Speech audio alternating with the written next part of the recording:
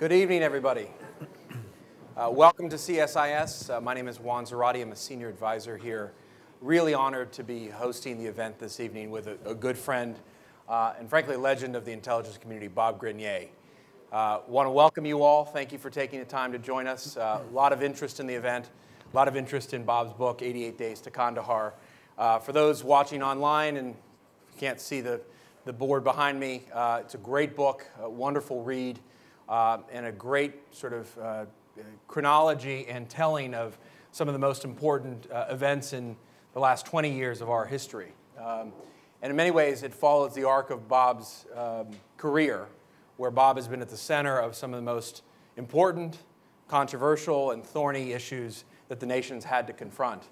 Uh, for those of you who don't know Bob's bio, uh, obviously it's available in the book jacket and as well as our materials, but uh, Bob was uh, the, the, chief of station in Islamabad uh, on 9-11. And so both before and after 9-11 had responsibilities for what was happening both in Pakistan and in Af Afghanistan uh, and run, ran the Southern Campaign uh, and ultimately the takeover of Kandahar uh, from the Taliban, hence the title of the book, which I think is a great title.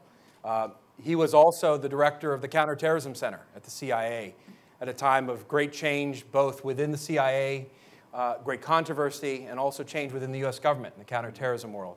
Uh, that's when I got to know Bob well and, and had the honor of working with him and watching his handiwork both uh, within the bureaucracy and uh, in challenges to it. Um, and finally, uh, Bob was also responsible for the Iraq portfolio uh, right during the, the invasion and, and in the aftermath of the invasion in Iraq. And so you can imagine the, the breadth and scope of Bob's work, uh, which is not just confined to that period, of course, but uh, really is uh, seminal in terms of the history of the CIA, history of U.S. counterterrorism, and uh, our, our, work in Afghanistan, Pakistan, uh, and Iraq. Uh, and so, welcome. This is a real honor for me to, to host Bob, and certainly for CSIS to host Bob in his book event. Uh, Bob, I just I wanted to um, start by asking you um, generally why uh, did you write the book, and sort of set the table for us in terms of the story that you wanted to tell with 88 Days to Kandahar. Yeah, well, I did have occasion uh, numerous times to ask myself the same question. You know, why did you want to write this book? but uh, I guess it all began for me on the 7th of December in 2001. And that was the day when both the Taliban and Al Qaeda fled from Kandahar. And that afternoon, I had occasion just to reflect a little bit on what had happened in the previous weeks. And I actually got out a calendar and I counted the days. And it was precisely 88 days from 9 11 until that 7th of December when both the Taliban and Al Qaeda fled. And uh, we thought at the time that we'd won what I now like to refer to as the first American Afghan War. And I thought about the fact that at the outset, immediately after 9 11, I was very, very concerned, to say the very least. I, I was very concerned that this would go very, very badly. And I thought about the fact that the Northern Alliance had broken through the Taliban lines and had taken Kabul, our two key uh, Pashtun tribal allies in the south, Hamid Karzai and uh, Gul Agha Sherzai, had not only survived, but actually, with American help, had ultimately driven both the Taliban and Al Qaeda from their, their capital in Kandahar. We had managed, in a sort of perils of Pauline scenario, to, uh, to save a small group of missionaries the, uh, who had been detained by the Taliban just before 9 11 and uh, who had, we'd somehow managed to, to save as, uh, as the Taliban structure was collapsing around Kabul. We had managed to get to the bottom of what we thought was a, a, serious conspiracy on the part of a group of Pakistani scientists to provide nuclear materials or, God forbid, a nuclear weapon to Al Qaeda. I don't have to underline for you just what a tense situation that was before that was all resolved. There were so many things that could have gone so badly wrong, and instead they had gone right. And uh, I felt that at some point, someday, I was going to have to tell that story, the story of those 88 days. And I knew then what the title of the book would be. It's been a while in coming for this book. and actually, I'm very glad that it has been. If I had written this book immediately after my retirement in 2006 or 2007, yeah, the core of the book would have been essentially the same, that adventure story as, as I sort of lived it during those 88 days. But there was so much at that point that we didn't yet know. And now at, at the cusp, as the United States has essentially withdrawn from Afghanistan, we're, we're down to a, a very small number of troops, as you all know, and as we're planning for what we all expect to be the end game between now and 2017, there's so much more that we know now about how this whole thing has turned out. So in the book, what I've tried to do is to write an accessible story for people who are not experts in this field. But then what I can do now that I wouldn't have been able to do had I written it, say, immediately after my retirement, is to wrap it up in a broader story. The geopolitical story of how we won the first American-Afghan war, how we, if not lost, certainly did not win the second American-Afghan war, and how the decisions that we're making now may yet set the stage for what may yet be a third American-Afghan war in the future. Yeah. And Bob, I think one of the one of the great values of the book is precisely what you've described, which is not just the historical telling of these key events, your uh, your role in it, uh, and the key actors uh, at, at, in this time, but it's the relevance of the policy debates currently on, mm-hmm. on all of these issues. And I want to get back to that because I right. think that's critically important as we look forward. But can you, as we, we look at sort of that pre 9 11, post 9 11 period, Talk to us a little bit about your relationship, for example, with the Taliban. Mm-hmm. Because you, you were interacting with the Taliban. There were concerns about uh, the housing of the Arabs, uh, mm-hmm. the need to, to move them out, uh, the potential for further isolation of the Taliban in Afghanistan, and certainly post 9 11. So, can you talk to us a little bit about that?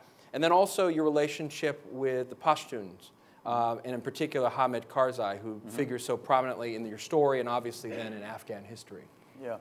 Well, um, when I first arrived in Pakistan as chief of station in the summer of 1999, uh, our involvement in and concern with Afghanistan was very myopically focused on Osama bin Laden himself. And we had a presidential finding to try to track down and, and arrest Osama bin Laden. It was, it was a, a so-called lethal finding.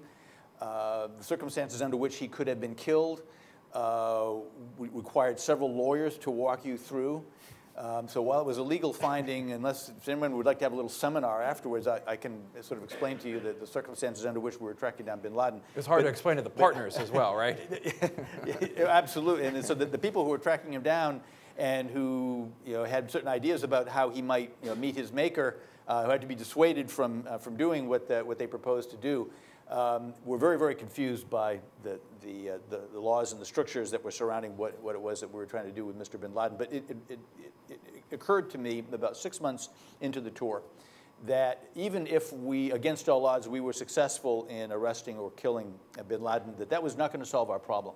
That we had a significant terrorist problem with all the, the number of what we then referred to as the Afghan Arabs who were uh, rushing into uh, Afghanistan, were receiving training, that uh, even if bin Laden were to die of natural causes, that we would still have a, a serious terrorist safe haven problem in Afghanistan.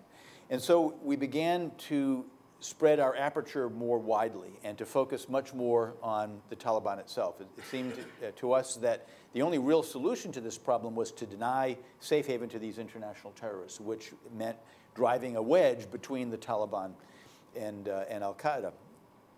And uh, it, it appeared to me that there were opportunities to do that. There were uh, substantial uh, players in uh, among the Pashtun society from whence the Taliban was drawn, uh, who, had, who were fed up with Al Qaeda. They had no time for bin Laden. Uh, Al Qaeda was operating as a state within a state. There was a tremendous amount of resentment about that, including within the Taliban leadership.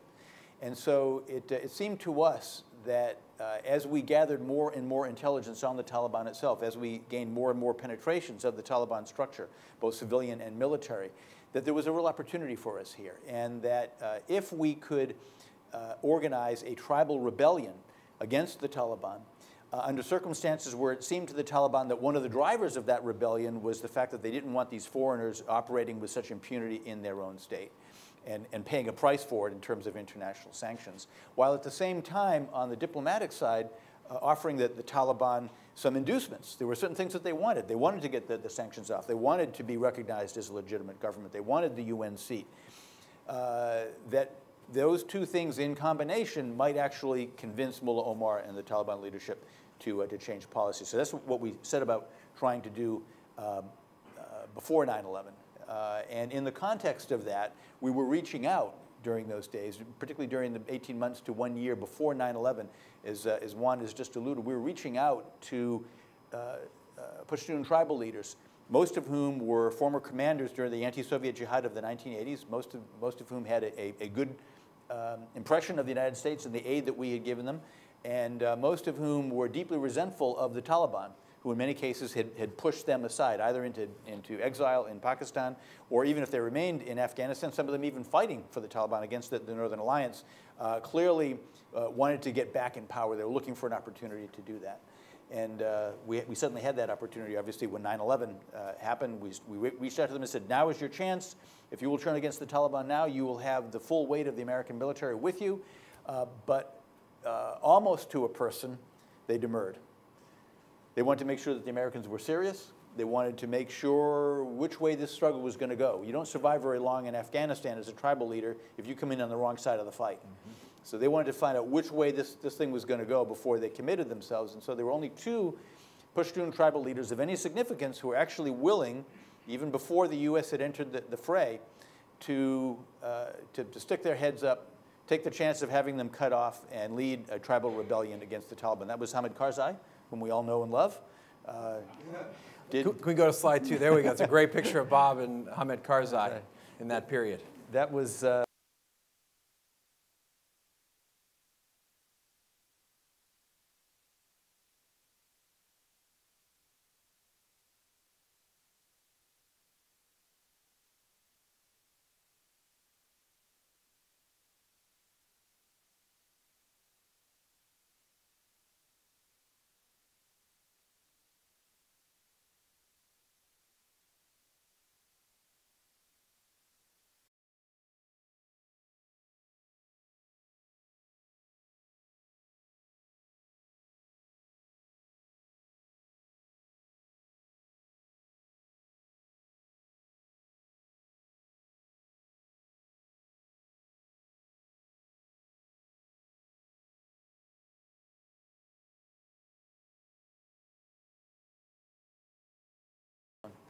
And uh, the other uh, significant tribal leader was uh, Gul Agha Sherzai, uh, who was the, the, former governor of Kandahar, had the dubious distinction of being the first provincial governor be, to be driven out of power by the, by the uh, Taliban when they, uh, when they organized themselves in 1994.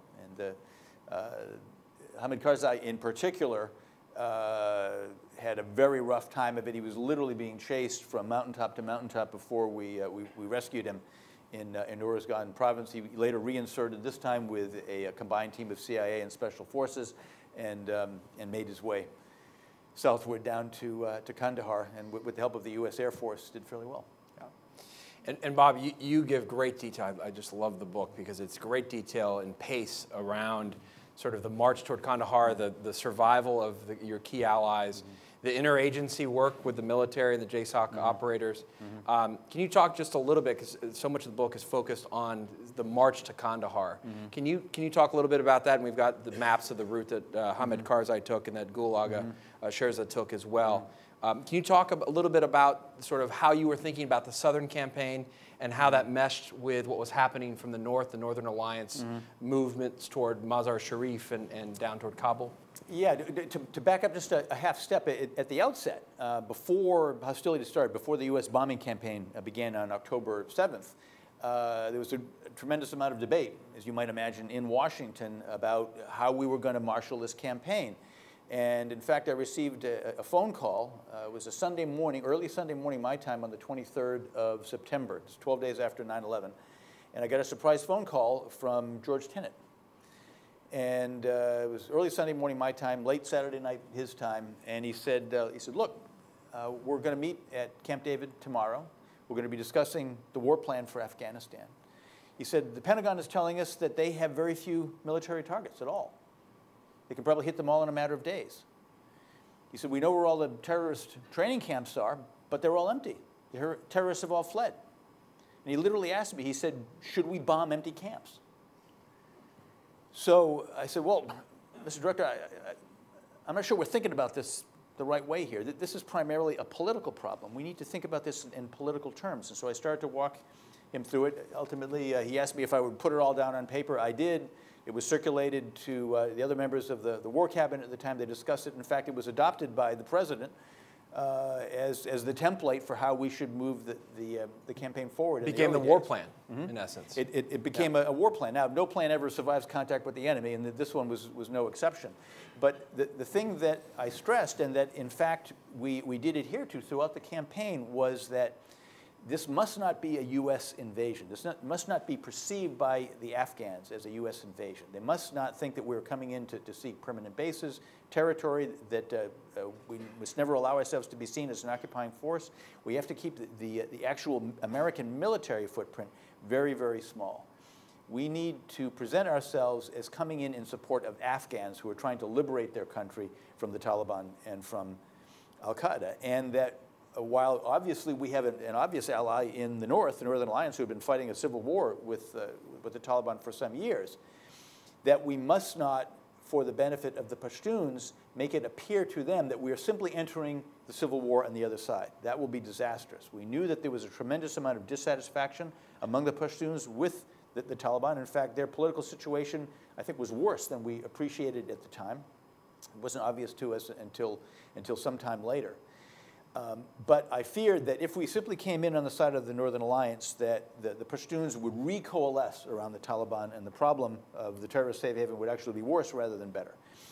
And so that's why, uh, as we were moving forward with the Northern Alliance, we, we stressed that it was so critically important that we first identify and then support Pashtun tribals who were willing to turn against the Taliban, and we, we found precisely two of them. There were others, but uh, but none who were as significant as, uh, as these two. And so the, the, the, the plan that we followed was that these people must establish that they do, in fact, have a tribal following and can marshal their, tri their, uh, their tribal elements and, uh, and raise up the, their heads in rebellion against the Taliban, and then we will come in and support them. And, and, all along the way, you had sort of a test of will and capacity with everybody you were dealing with, right? You've got to show us that you can marshal the, the, the, the, troops and that you can defend a position and the, the whole nine yards. Exactly. So, uh, so Hamid Karzai, you know, goes into Afghanistan. He and and uh, and three others uh, riding pillion on on two motorcycles, rode into uh, this. This is how our rebellion started, and he he, he rode right through Kandahar. Uh, they then traded their their motorcycles for a taxi cab. They drove up into Uruzgan province at the, at the border between Kandahar and Uruzgan province, which was where, where uh, uh, which is the center of Hamid Karzai's tribal support. He was a Durrani Popalzai, and that, that was the home of the Popalzai. So as he's, as he's uh, driving in this taxi into Uruzgan, they're stopped at a, uh, at a check post. And uh, so here's this you know, guard who's probably about 15 years old, can't even you know, grow a beard. He's inspecting their vehicle, and he sees this bag. Well, it's the bag that had the satellite phone in it. He says, I want to, I want to look inside your bag. So they said, no, no, no, you can't look inside our bag. And so one of his companions went into the guard post to talk to the, the man in charge. And the other ones, they, they had uh, a couple of weapons between them, and they, they said, we're not going to be taken captive. If these people come out to inspect the bag, we're going to kill them. We may die right here, but we're not going to be taken captive. Well, the officer in charge didn't care about them or their bag, and they just drove on up to, uh, to uh. And obviously, I'm not going to you know, take you step by step through the whole process from there, but he went up to uh, Tarin-Kot, the, the, uh, the, provincial seat, and began to organize uh, the, the, tribals. He found that there was a lot of support for him, a lot of dissatisfaction with, with uh, uh, the, the Taliban, but the Taliban very quickly discovered that he was there, and they sent a force north to track him down.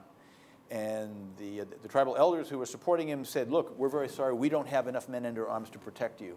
And so take some people and, and, and go up into the mountains, which he did, and he was literally being chased from mountaintop to, to mountaintop. Uh, he was telling us you know, breathlessly about you know, the, the, the, numbers of people who were attracted to his banner. Uh, I think that he was, um, optimistic, I think, is, is probably To put a- it mildly, a, a, a good term to use uh, about the, the number of people who were with him at, uh, at any given point in time. Uh, ultimately, we had to we had to uh, evacuate him, then reinsert him. Uh, at, at no time, frankly, did he ever have more than 350 people under arms and with him as he made his way down to Kandahar. And they were very nearly wiped out uh, very early on after their reinsertion at the Battle of Tarin Kot. And uh, it's, uh, I, I didn't realize at the time just how close to annihilation that they actually were. Uh, I was sitting in my office in Islamabad, and a, um, a special forces representative came rushing into my office. He said, "My God, this is a turkey shoot." Once uh, all these American pilots who were there in the in the area of operations realized that you had Americans who were under attack by the Taliban, they all rushed there, and they were literally being stacked up like airplanes at LaGuardia. Uh, to, to try to make bombing runs against the, the Taliban. The Taliban you know, suffered very, very heavy losses, and uh, that was probably the critical battle of the campaign. He then made his way south. There were a number of other skirmishes, including one where he was very nearly killed by the Americans, by a, an American JDAM, um, at a place called, um, uh, called Shawali Kot, just north of, uh, of Kandahar. In the meantime, uh, Shirzai uh, was managed to organize a much larger force uh, in the Shinare Valley, uh, just along the, the, uh, the Afghan-Pakistan border. Uh, that, that was his home area. He was a Barakzai uh, tribesman, and uh, as I say, uh, managed to organize a, a large force. There are a number of skirmishes, a major battle at a, at a place. Slide four, please. Sorry? yeah, no, not you. Slide four? Yeah. The, the map? There we go, perfect. So, yeah, that's right. And uh, so it, um, he went through a, uh, through a Spin Boldak, and then when he reached the main highway uh, to, to go into uh, to Kandahar, fought a major battle there. Fought another major battle, uh, first with the Taliban and then with Al Qaeda at the, at the Kandahar airport. Um, spent about five days there. I was uh, on the, the telephone at this time with, uh, with the deputy foreign minister of, uh, of the Taliban, who had been a contact of mine, not a recruited source, mind you, by any means, but somebody with whom I was just talking from, uh, from well before 9 11. And uh, he told me that um, they were actually encouraging Al Qaeda to fight with the Americans at the airport. And he said, We hope that you will kill as many of them as possible. They're getting in the way of our negotiations. Uh, so, so much for Taliban Al Qaeda solidarity. Um, ultimately, uh, the, uh, the uh, Al Qaeda fighters, about 500 of them or so, uh, realized that they were fighting a losing battle at the airport, and uh, they organized themselves and, uh, and fled uh, Kandahar on the same day that, that the, the Taliban fled as well. And um, it was actually Gul Agha Shirzai who was the first to reclaim the old uh, governor's palace in Kandahar. Uh, he, he, saw his opportunity and he, he, rushed inside. And it was only it was two days later, in fact, that um, that Hamid Karzai actually made his way into town. There was a little bit of uh, bit, a bit of a kerfuffle as to uh, who was going to be in charge here and uh, who should take what parts of the city. Uh, at one point, uh, not only were the Afghans uh, fighting between some, themselves, but their their uh, CIA sponsors were fighting between themselves over who really ought to be in, in charge here. Uh, so it, it took a, a, little bit of refereeing to sort this yeah. whole thing out. We said it's entirely too soon in the, in the process for Afghans, for Al Afghans to, to be killing each other. And uh, it was going to be time enough for that later on, as we all saw. That's great. So, Bob, take us forward then. December 7th, take over Kandahar. Now you've got the problem of the Arabs, Al Qaeda, mm-hmm. the hunt for bin Laden. Right. And, and, this, in some ways, takes us forward to your role mm-hmm. as head of CTC as well. Mm-hmm. Um, talk to us a little bit about sort of the hunt for bin Laden, how you were thinking about the fight against Al Qaeda, not just in those immediate sort of days and months, but mm-hmm. even longer term. Mm-hmm. Um, and you know, if you can touch a little bit on the story of Tora Bora, because I think that holds a lot in the imagination of people's minds. And if we can go to slide five, I think there's a mm-hmm. there's a good picture of you with yeah. uh, some tribal mm-hmm. forces on the Pakistani side.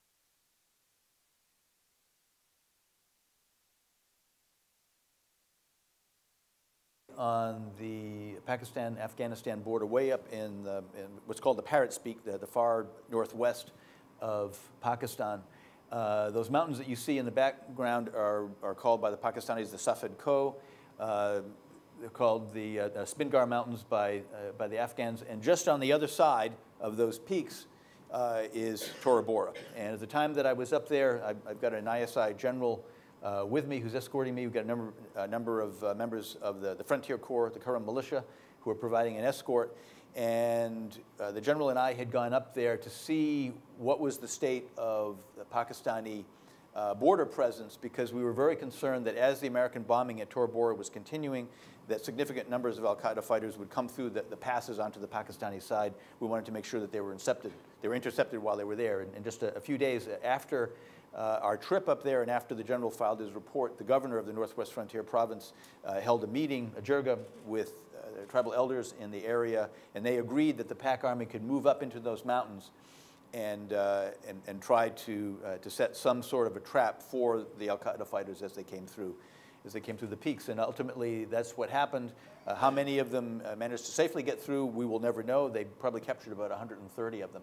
At the same time, when I mentioned on the 7th of December, as the Taliban and Al Qaeda were fleeing, uh, I actually had one of my officers sitting on a little hill just east of Kandahar.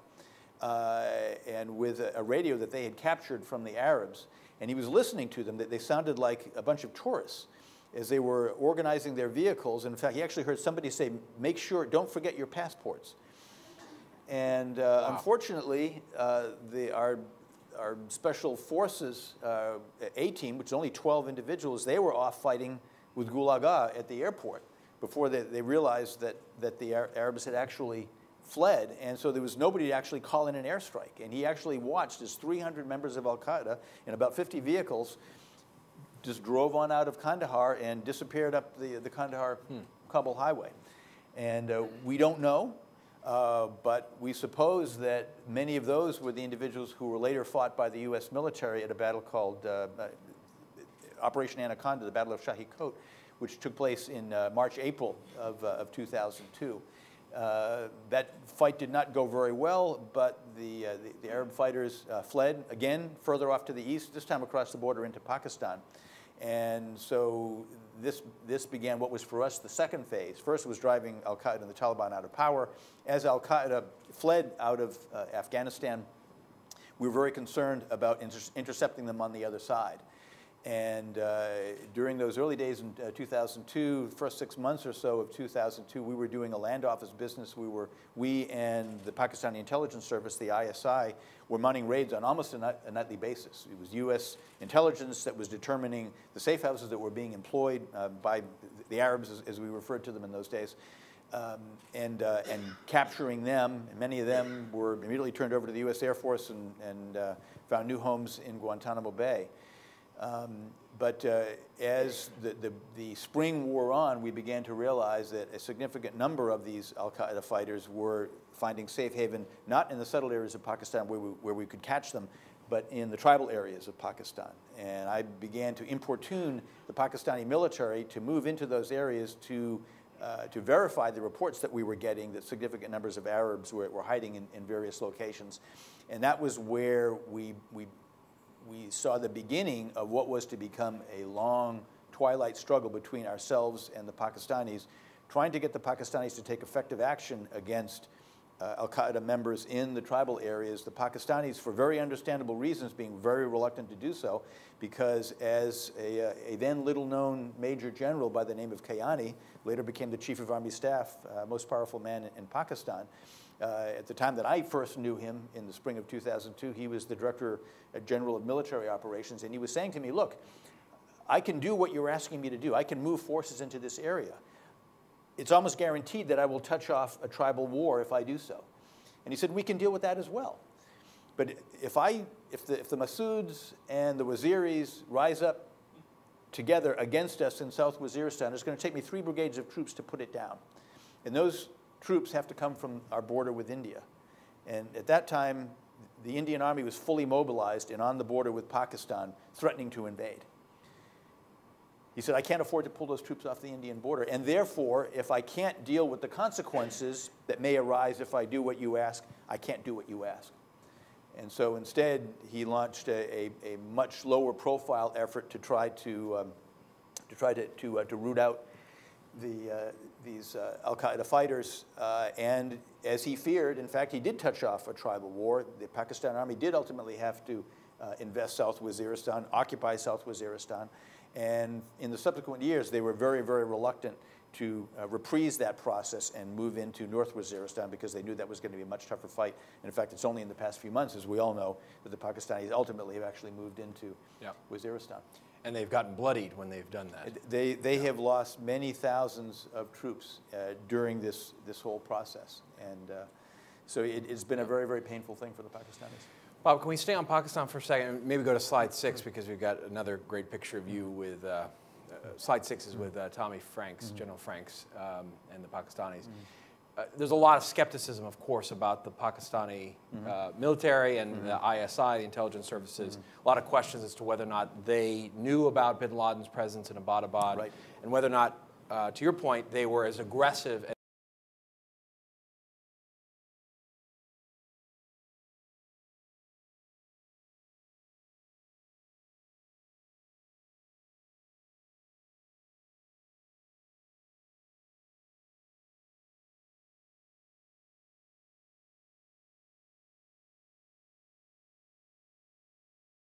We could see the roots of the, the disagreements and the misunderstandings that we have suffered through with the Pakistanis ever since and that still haunt us to this day. And with regard to Al Qaeda, the, the, Pakistanis really never had any brief for Al Qaeda. They, they certainly were never supportive of bin Laden. Uh, they weren't willing to cooperate with us against bin Laden and Al Qaeda before 9 11, not because they were supportive of them per se, uh, but simply because they were very piqued with us.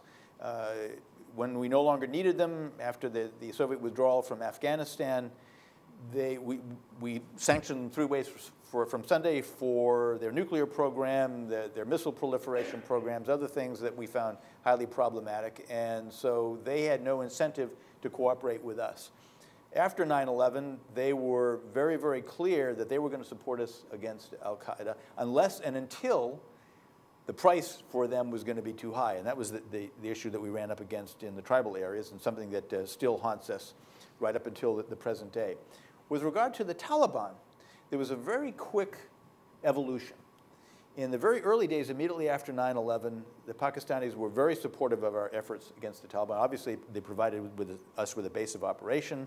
Uh, the ISI was providing uh, me with facilitation so that we could get Afghan fighters across the line to attack the Taliban.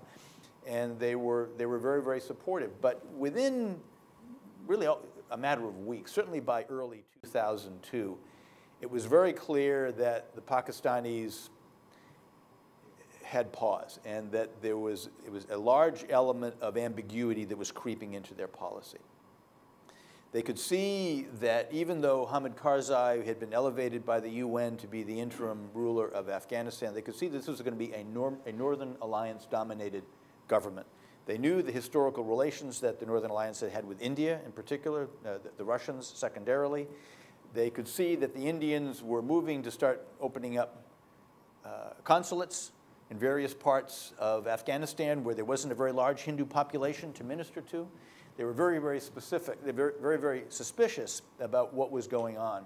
And they were very concerned lest they unilaterally break uh, the, the last ties that they had with the Taliban. Now, mind you, before 9 11, there was already a great deal of distrust between the Pakistanis and the Taliban. This was not, this was a very wary relationship at best, although clearly, as a matter of, of national security, Pakistanis were unambiguously supporting the Taliban. You can imagine how distrustful that relationship was after 9 11 and as we got into 2002, given what the Pakistanis had done to the Taliban in support of the American effort. Nonetheless, the Pakistanis did want to retain at least the option of a future relationship with the Taliban against the day when that might become important for them uh, in dealing with a government in Kabul which they saw as hostile to their interests. So in those days, in early 2002, and, and, in, and even more so in the years subsequently, as the Americans and the Pakistanis were cooperating very, very effectively to capture and or kill members of al-Qaeda, when we would provide them with information concerning senior Taliban members, members of the Taliban Shura, somehow, mysteriously, those investigations never turned out very well. And it didn't take very long to figure out that there was a pattern here and that maybe the Pakistanis were a little bit ambivalent and hedging about, about all this and, and, and uh, engaging in, uh, in hedging behaviors. Yeah. Uh, that, that became even more uh, pointed in later years, starting particularly in 2005, as we saw increasing numbers of Pakistani-based militants crossing the border to attack US, NATO, and Afghan forces inside Afghanistan. And there, I think it was a matter, I think, frankly, there was a lot of misunderstanding on, on the part of the Americans. And you can imagine, if you're American military, including some right here in this room, I know, uh, and you're watching militants as they're going right past Pakistani checkposts to attack your positions inside of Afghanistan. Well, to you, that's going to look like collusion. To the Pakistanis, that was looking like somebody else's fight. They were very, very uh, vulnerable out there. They, they were having a difficult enough time with militants who were turning against them because of their support, because of the militant support to Al Qaeda and, and uh, Pakistani perceived support to the American effort to track them down. They didn't want militants who were focused primarily on Afghanistan to turn against them as well. And uh, so as far as they were concerned, they knew that they were very vulnerable. They knew that if the local militants in a particular area uh, decided to interdict their supply convoys, they could do so very easily. Uh, this is an area of Pakistan where every boy above the age of 12 has an AK-47. They didn't want to fight with these people unless it was absolutely necessary. And so you can imagine the sort of, of um, sort of mutual suspicion that rose up yeah. around all of that. Bob, let me ask you two more questions. One is sort of a thematic question that implicates Afghanistan, Iraq, and just our, our foreign policy. Um, mm-hmm. There, there are a, a, number of great themes in your book, uh, three that I think are interesting. One is this theme of abandonment that you talked about, mm-hmm. that was sensed by some of the Afghans, the Mujahideen, the, some of the mm-hmm. Pashtun mm-hmm. tribes, mm-hmm. obviously a core theme from the Pakistanis, mm-hmm. um, and at play to a certain extent um, in Iraq currently. Mm-hmm. Um, so if you can talk about sort of, uh, sort of the theme of abandonment in our policy and the way we've, mm-hmm. we've interacted with various tribes and groups over time, that would be, mm-hmm. I think, important. Mm-hmm. Um, the, other, the other question is, you did battle often in the interagency, and this was both in the context of Afghanistan and Iraq, mm-hmm. with this question of light footprint, heavy footprint, right. and the perception of U.S. occupation or not, right. um, and, and how we went about doing what we had to do. Uh, because in many ways, you, don't argue against the policies, for example, going into Iraq. It's, mm-hmm. it's how we did it. Mm-hmm. Right? And so, can you speak to those two themes, which I think are really interesting because they translate both in the context of Afghanistan and Iraq, and translate, frankly, moving forward mm-hmm. uh, in South Asia and in the Middle East? Mm-hmm. Yeah, well, I, I think obviously, the, the theme of American abandonment has been a very strong one in the dialogue between the, the, the, Pakistanis and ourselves. And looking at it from a, a, Pakistani point of view, you can readily understand why that would be. Um, in fact, I was just talking to uh, an old State Department colleague the other day who was in the, the Bureau of Intelligence and Research at the time, uh, uh, analyzing the growing body of intelligence that the U.S. had during the 1980s, during the anti-Soviet jihad, when we had a very close relationship with the Pakistanis, about the growing Pakistani nuclear program. Somehow or other, we managed to overlook all of that evidence, which, which once we had accepted it, was going to trigger automatic sanctions under the Pressler Amendment that had been, uh, that had been passed in Congress. Somehow we managed to overlook all of that evidence until the Soviets withdrew. Suddenly it was staring us right in the face, and we had no choice but, but to sanction the, the Pakistanis very heavily. Well, the Pakist- this was not entirely lost on the Pakistanis. And when, after 9-11, they made, President Musharraf made the strategic decision that, you know, when he was, he was given the offer, either you're for us or you're against us, and he decided to, to be for us. Um, as far in the Pakistani mindset, this was just another turn of the same cycle. Great. Now we're going to be strategic allies of the Americans. But we know full well that when we are no longer useful to the Americans in Afghanistan, that is probably going to change again. And so all of their behaviors, all of their calculations were made on that basis. It's not the way we were thinking, it was very much the way that they were thinking. And it, it, it helped to presage much of the difficulty that we've seen with the, Pakistan, with the Pakistanis in, uh, in subsequent years. And, and I think that, that we are seeing similar things play out with others with whom we have cooperated on a tactical basis. We perhaps were not thinking of it tactically. We probably weren't thinking of it tactically when we were cooperating. So we CIA were cooperating with the Montagnards in, uh, in Laos during the, the, course of the Vietnam War, and yet they paid a very heavy price when, when we decided to leave. Uh, there are parties in Afghanistan now as we speak who I'm sure are paying a very heavy price for their former association with us uh, when the U.S. has decided to substantially scale down its, uh, its presence there. And the same is true with a number of parties, you know, particularly uh, uh, Sunni tribesmen in, uh, in western Iraq who threw their lot in with the Americans and who were not able to sustain that relationship then with a Shiite-dominated government in Baghdad. So again, this on, on, different levels and in different ways, this theme of American abandonment is, uh, is one with which we have to grapple and, um, and one which, uh, which, uh, which haunts us. And frankly, I, I'm almost surprised that we have managed to convince over the years as many parties as we have to cooperate with us, knowing full well that at a certain point, it may no longer be convenient for the Americans to cooperate with us and we're going to have to fend for ourselves. Um, with regard to this whole idea of heavy footprint light footprint. Um, as I just mentioned before, I felt very strongly at the outset in Afghanistan that we, we needed to have a very light footprint, that although the war against the Taliban would not be prosecuted anywhere near as efficiently uh, using uh, or supporting Afghans who were operating on their own account and with their own motivations than it would be if we simply went and invaded the place. I felt that if we simply went and invaded the place, that we would repeat the very bitter history that had been suffered by the, the Soviets and the British before us in the 20th and the 19th centuries, respectively. It was a very different situation, obviously, in, in uh, well, actually, maybe before I leave Afghanistan, let me just sort of fast forward a little bit to 2005. Uh, yeah, like, like much of the, the U.S. command structure, if you will, I checked out of Pakistan, Afghanistan in the summer of 2002. Quickly found myself the, the, Iraq mission manager of the CIA for about a two and a half year period.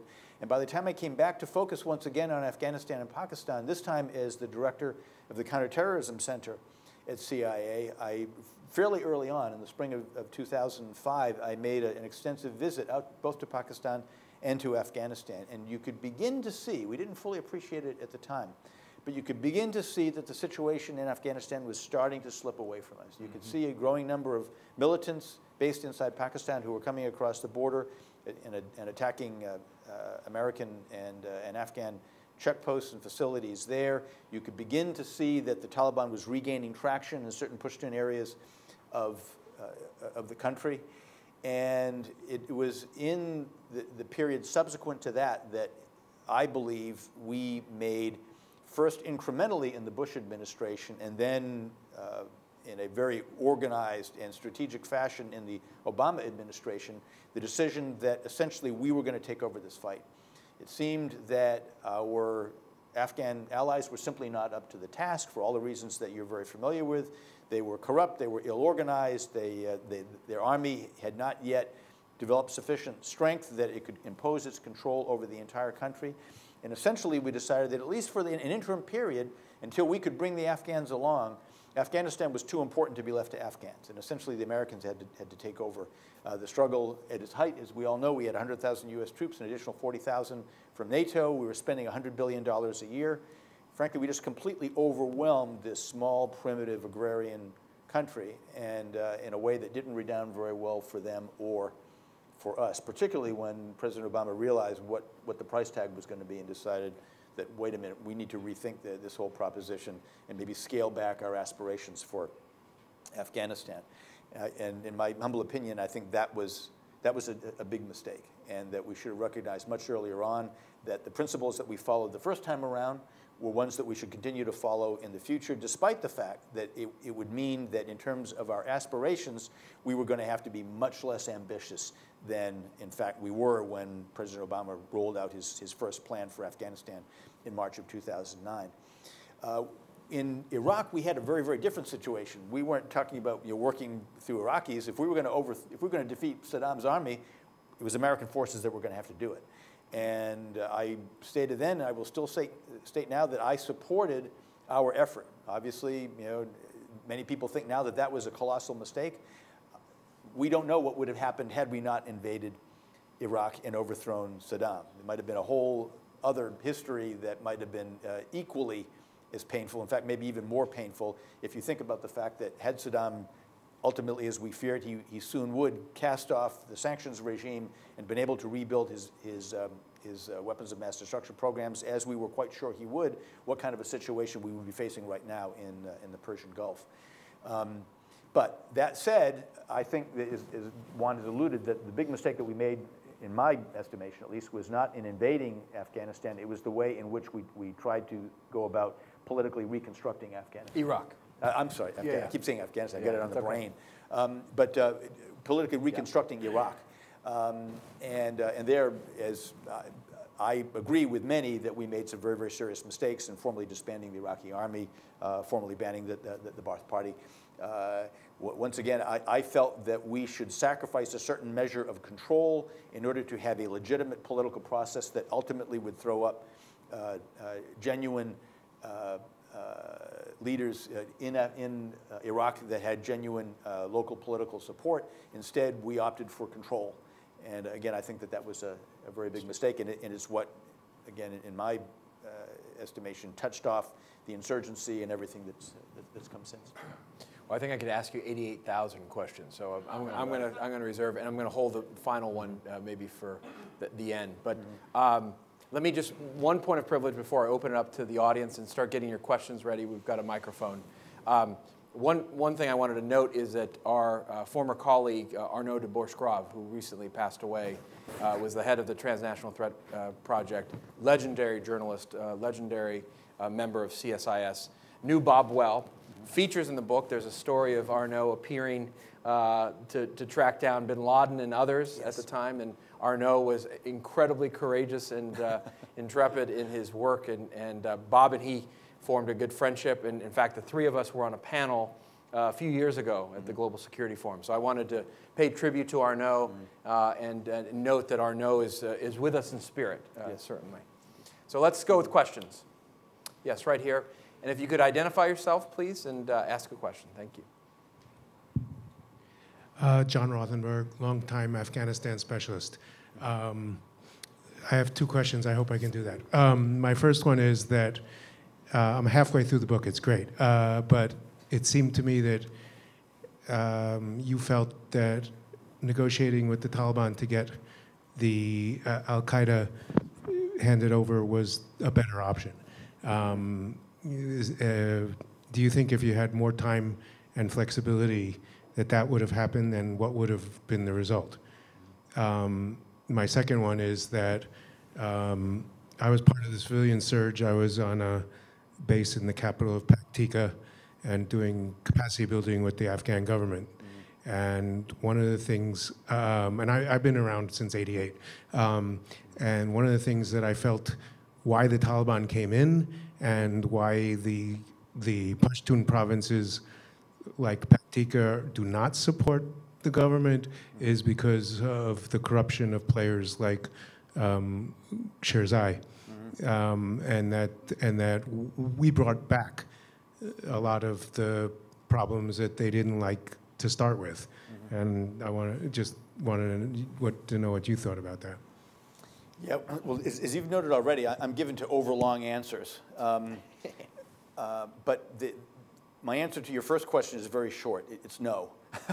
uh, the, the, question, again, and- and tell me if I've got this right, is you know I, I did try to negotiate with uh, the, the number two figure in the Taliban at the time, Mullah Osmani, uh, to see first of all if he could convince Mullah Omar to change policy and to turn bin Laden and his key lieutenants over to us. And then failing that, in a second meeting with Mullah Osmani, I, uh, I tried to persuade him uh, to move Mullah Omar aside and do himself what Mullah Omar clearly would not. And uh, he actually agreed to do that briefly. Uh, I think he thought better of it as soon as he got back to, to Kandahar. And uh, we continued uh, to talk on, by, by satellite phone uh, with him in, in Kandahar, me in, in Islamabad, even after the, the US bombing. Um, and so the, the question is, you know, well, was there ever a a real opportunity for a negotiated solution with the Taliban? If we'd had some more time, would, is it possible that that might have succeeded? And you know, as much as I would like to say that, you know, with my persuasive brilliance, if I'd just been given a little bit more time, somehow I could have brought them around. Uh, in fact, I don't think, I don't think it was in the cards. uh, to a, it was only later that I realized the extent of Mullah Omar's hold on his people. There was no way that, that Osmani was actually going to lead a rebellion against Mullah Omar for a whole lot of, of reasons, organizational, psychological, and others. And Mullah Omar, I'm convinced, is, is a very singular Afghan. He's a very, in their, in their context, their culture, he's, he's a, a very uh, impressive individual. Um, so no, I don't think that that would, that would ever have worked. Had we, as we, we tried, uh, at, at my uh, instigation, the, the first target that we hit in Afghanistan at the start of the air campaign on October 7th was Mullah Omar's compound. We missed him by 30 minutes. Uh, had he been killed in the first wave, then something might have been possible. Uh, and, and then this relationship that I built up with Mullah Osmani might have actually borne fruit, and who knows where, where things would have, uh, would have gone from there. Even then, I think it would have been highly problematic. Um, with regard to the, the, the second issue, and, and that, that's this whole issue of, of you know, governance in, in Afghanistan, and on the one hand, you know, should, should we have been focusing, as in fact we did, um, on you know, trying to build up a highly centralized government structure with a large army and police force that would be able to impose its will on, uh, uh on the country and, uh, and establish good governance and marginalize the, uh, the local warlords who had actually brought uh, Afghanistan to grief in the, the, period after the Soviet withdrawal and, that, and, and whose, whose rapaciousness actually led to the rise of the Taliban in the first place. Um, and I guess my view on that is that we've never really had that sort of a, a highly centralized, highly effective Afghan government. Uh, I'm not sure that in our lifetimes it, it, would have been possible to construct one, particularly, particularly with the, uh, the competition from, from the Taliban. On the other hand, what about these warlords who, as you say, I mean, you know far better than I do, having spent the, the time there that, that you did, uh, the extent to which uh, corrupt local leaders, and, and, and mind you, that this, this, centralized Afghan government was essentially um, established as a vertically integrated criminal enterprise, where all of, of the, the, the, uh, the, positions of authority, even at the local level, the district level, were, were made, those appointments were all made in, in Kabul. And essentially, in many cases, they were licenses to steal with the ill-gotten gains flowing back up the, the, the chain to the people who who'd uh, named these individuals to those positions in the first place. Not, not a good basis on which to establish good governance. Um, and so what then is the alternative, knowing that things are never going to, Afghanistan is never going to look like Ohio? Well, I guess what I had thought at the outset was that we ought to continue to work with warlords uh, as we had uh, at the outset, uh, that we should have CIA, State Department, other American agencies working in conjunction with one another and in and, uh, and closely with these, uh, these individuals who did have local weight, whether tribal or, or, otherwise, and try to help them to be the best warlords they could be. Um, and I'll just, I'll just cite you a, a, small story. This is probably somebody that, that, that you've heard of, uh, um, uh, uh, uh Pacha-Khan Zadran, who was again, a warlord in eastern Afghanistan uh, shortly after 9-11. Uh, and as it, as it became apparent that these different areas were beginning to slip away from Taliban control, Pacha Khan comes across the border to Islamabad and uh, rolls up and says, I'm your man. And this is in the area around Khost in, uh, in eastern Afghanistan. And he said, you know, if you want to rule this area, I said, I'm, I'm the guy you need to deal through me. So we said, oh, interesting. Uh, you're a Zadran. Where are the other tribes in your area? Come back to us with representatives of all those other tribes, and then we'll talk. And you know, in, in my view, if we had had the right people, Americans, with the right background, the right basis of knowledge, uh, the right temperament to deal with individuals like this in various key areas of Afghanistan, to um, uh, condition our support for them on their uh, subservience, for lack of, of, a better word, to appropriate local authority, establishing shuras with some sort of a link to the, to the central government, uh, including some sort of a link between their local militias, which I thought we should be supporting, uh, and the local government. And the, the, the, the sort of the model that I had in mind was something like the Frontier Corps in Pakistan, where you have local forces uh, that, that have nonetheless a link with, uh, with, the, uh, with the central government, that we might have been able to build something which wouldn't have been pretty in all places at all times, but might at least have been viable and might at least have been able to keep out the, uh, the, the Taliban.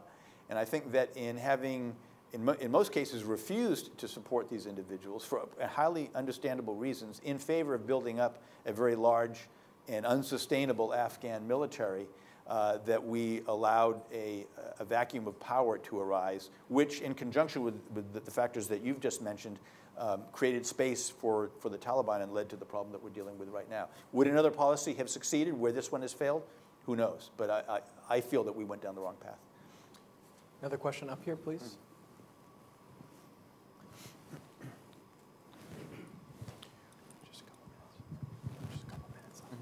Continuing on what you just said about the right staff or the Could you right. quickly just sorry. identify yourself quickly? Oh, sure. Um, Alvil Singh, independent researcher. There you go. So going back to what you were saying about like the right staff, the right people mm-hmm. at that time, mm-hmm. would you then say? So I have a two-part question. Mm-hmm. One is that the CIA did not have the right staff at the right time, mm-hmm. meaning we're, we're, we're, we're taking this outside of the scope mm-hmm. as an HR issue mm-hmm. in terms of recruitment. Mm-hmm. Homeland Security, mm-hmm. NSA, everyone else has this issue right now. Right. So go back. Mm-hmm. we're not talking about 2000, you know, 9/11. Mm-hmm. We're going back a decade where the infrastructure was a Cold War mentality. And at that, so juxtapose that with the hiring strategy and every the entire mindset of the intelligence mm-hmm. agencies and the entire government. Mm-hmm. So what we're seeing right now is the CIA restructuring mm-hmm. to deal with the current conditions on the road. Mm-hmm. Had you had the right staff mm-hmm. and the right capabilities, I think you would have done a lot more on the ground in terms of, let me put it this way, as a CIA station chief, my skin color would do much more than what yours is right now. And mm-hmm. my, th- the second part, I won't, but. Okay, no, that's a great question. And, and it, particularly folks below the level of the station chief. You know, it's fine to have the station chief as a, as a figurehead, you know, hobnobbing with, with Pakistani officials. It's the folks, it's the folks who actually do the work on the ground. They're the ones who have to be able to. Well, Bob, if I can piggyback off this, it, it's also a continuity question. Right? Do we have too it much is. shifting, right? Yeah. And, and, and also just maybe the, the sort of the mm-hmm. coda to this. Mm-hmm. You know, this is the subtitle is a CIA diary. Right. Right what's the future of CIA in the context mm-hmm. of this? Are, are we mm-hmm. are we positioning ourselves properly for the threats and the the uh, challenges to come? Yeah, um, you know, I, I think that the CIA did a pretty good job of pivoting from the Cold War uh, to deal with a, a world where the, the, threats were going to be quite different. Um, that did it did it do that well enough? Did it have enough uh, foresight to know, you know where the, the greatest challenges were going to be? Well, no, absolutely not. Um, you know, did I know two years before 9/11 that essentially, you know, a little over uh, two years later, uh, we were going to be taking on a, a quasi-colonial project in Afghanistan for which we would need appropriate people? Well, absolutely not. I didn't know that. Um, that said, I think that with the people that we had, with the, with the Dari speakers that we had, with uh, people who had, who had uh, dealt in analogous situations uh, in the third world, had a, had a feel for tribal politics, had we been able to keep all of them focused on that particular coal face, I think we would have done a great deal better. As we all know, we had to pivot again, this time to Iraq. Uh, and so we, we had to uh, divide up very scarce resources very rapidly, which I think made it much more difficult. But you know, again, we could spend an awful long time talking about, you know, sort of from, from an HR point of view, how do you poise an organization uh, to enable it to do what it needs to do and to sustain that effort, as, as Juan says, uh, when people need to develop their careers. You know, we, we have an organization that says that, no, you have to get different experiences. You know, you, you, got to move from, from worker bee level up through uh, uh different le levels of management when, in point of fact, maybe you want to keep those people working at the, at the tactical level and for their whole careers. And how do you incentivize them to do that? And that- that's been, that's been a, a tremendous challenge in CIA, as it has been in, uh, in other organizations. State Department has that challenge, FBI, others, yeah. Absolutely, you have a demographic thing. I, I, I know, and, and Juan, you may know a whole lot more about, about this than, uh, than I do, and this gentleman here in, in the back may know uh, still more um, about uh, what, what the military uh, has attempted to do in, uh, in, in putting together what, what was referred to as the Afghan Hands program, where they were trying to build up a, a significant uh, number of individuals with real expertise in Afghanistan and Pakistan uh, who would work out in the, in the war zones, come back to, to continue working those issues and, and improving their skills at the Pentagon level, go back out again. And, you know, again, I haven't seen this from the inside, but you simply did not have a structure within the U.S. military that would facilitate that. Everything was working against their ability to do that over time. And I think we, we have uh, similar challenges throughout the bureaucracy. Let's go with one more question. We're, we're running out of time. This gentleman here, standing up. Hi, um, Paul Hobbs, uh, DoD active duty military. And uh, as such, just wanted to mention, uh, thank you very much for your service and for the service of your former colleagues who, uh, you know, working in the shadows don't get nearly as much um, accol- public accolades as uh, my military brothers and sisters in uniform. Um, you mentioned earlier about big footprint, little footprint in Afghanistan. And uh, uh, just from my reading and open source books and that kind of stuff, um, the position of our much maligned uh, vice president was, uh, my, as I understand, a smaller footprint, uh, emphasizing special forces and drones versus a large print footprint, which we ended up going with. Uh, your comments, please. Thank you very Mhm. much. Yeah, did, did you all hear the, hear the question clearly? Yeah, okay, okay, yeah. Um, yeah, I think the, uh, with the, and tell me if I, if I got this right, I, I think the, uh, the question revolves around this whole issue of a, a big footprint, small footprint, uh, and the fact that we are told that in the interagency debate leading up uh, to the, the first uh, Afghan plan in the Obama administration, which was rolled out in March of 2009, and then subsequently uh, thoroughly revised in December uh, of that year, that during that time, uh, Vice President Joe Biden was arguing for, I think, what what he, what he referred to as counterterrorism plus. That is a much smaller U.S. footprint, not having 100,000 U.S. troops and an additional 40,000 from NATO, but rather uh, keeping it a, a, a much smaller footprint, and in line with that, greatly scaling back our aspirations uh, in terms of what we could achieve. Uh, and, uh, and essentially making sure and, and, and focusing instead on, is, is, is that pretty much what you're Yeah. focused on? And, and rather than you know, trying to pacify the entire country, instead looking at it sort of from the other side, trying to make sure that the, uh, the regime in Kabul wasn't overthrown by the Taliban, so making sure the Taliban couldn't succeed as opposed to defeating them outright. Uh, and then in that context, uh, maintaining that platform so that we could do counterterrorism as much more narrowly defined using special forces and drones, et cetera, et cetera. Um, so I guess my view on that is, I guess my, my position, and there are an infinite, an infinite number of positions that you can take along that continuum.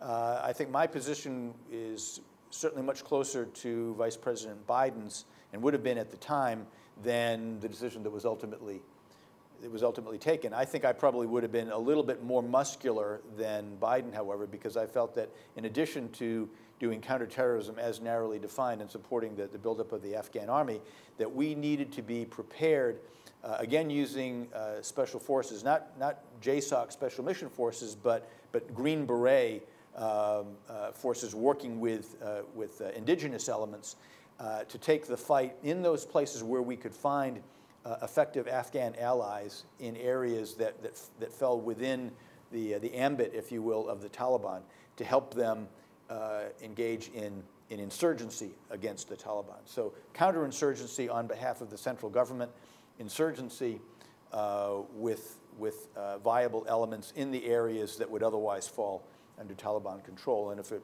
if it were if I had my way now, that's, that's what we'd be attempting to do now, which I think that we could do on a sustainable basis and with a, a, a relatively small number of forces, but clearly more than, in fact, we have now. I'm going to ask for everybody's indulgence. We're over time. I'm going to do one more question. We had a lot of hands go up. The young lady in the back, please. Last question, quick, please. And Bob, this will be uh, the last one.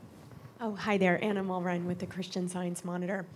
And uh, General H.R. McMaster, so one of the big uh, Pentagon counterinsurgency practitioners, was in town a couple of weeks ago, and he said he felt like one of the big mistakes that the U.S. military made early on in Iraq, then again in Afghanistan, was to empower the wrong people.